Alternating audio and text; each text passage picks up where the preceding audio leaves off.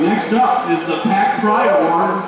This award is given out to a male and female who is a great representative of Northwood University, not only on campus but in the community. Athlete that displays great attitude. The nominees for the Men's Pack Pride Award are from men's basketball, Tony Johnson.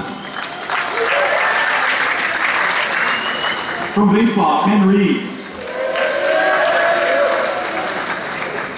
From football, Jake Riepma.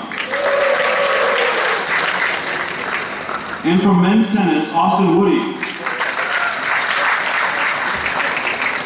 And the Timby goes to Jake Riepma, football.